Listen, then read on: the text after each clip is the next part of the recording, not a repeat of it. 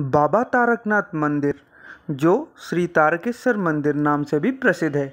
पश्चिम बंगाल के हुगली जिला में स्थित है ये मंदिर।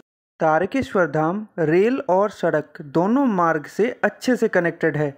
दिल्ली से अगर आप जाना चाहते हैं तो न्यू दिल्ली स्टेशन से या आनंद विहार स्टेशन से आप ट्रेन ले सकते हैं। सियालदा के लिए या हावड़ा स्टेशन के लिए।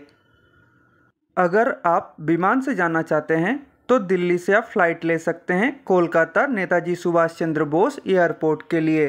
फिर एयरपोर्ट से आपको कैब या बस पकड़ के हावड़ा ब्रिज क्रॉस करके आपको हावड़ा स्टेशन आना पड़ेगा। और हावड़ा स्टेशन से ही आपको तारकेश्वर धाम जाने के लिए ट्रेन मिल जाएगा। हावड़ा से आरामबाग और तारकेश्वर दोनों लोकल ट्रेन चलता है, जो आपको तारकेश्वर धाम पहुँचा देगा।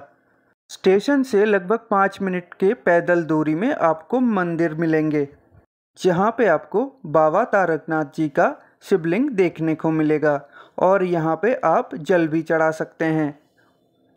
बंगाल में श्रावण के महीने में इस मंदिर में बहुत ही ज़्यादा भीड़ रहता है। पूरा श्रावण महीना और श्रावण के सारे सोमवार यहाँ पे बहुत ही भीड़ होता है। श्रद्धालु यहाँ पे शिव जी के ऊपर गंगा जल चढ़ाते हैं। लोकल ट्रेन में तारकेश्वर आते हुए आपको शेवराफुली जंक्शन देखने को मिलेगा। यहाँ पे स्थित गंगा घाट में पुण्यार्थी स्नान करते हैं और यहाँ से गंगा जल को कांवर में भर के ले आते हैं शिव जी को जल चढ़ाने। ये यात्रा कम से कम 25 से 30 किलोमीटर का होता है। जो पुण्यार्थी इतना चल नहीं सकते, वो बाबा के दूध पुकुर में स्नान करके बाबा के ऊपर गंगा जल चढ़ाते हैं। बाबा तारकेश्वर धाम आपको एक बार ज़रूर विज़िट करना चाहिए। तारकेश्वर आ रहे हैं तो यहाँ की मिठाई चखना मत भूलिएगा।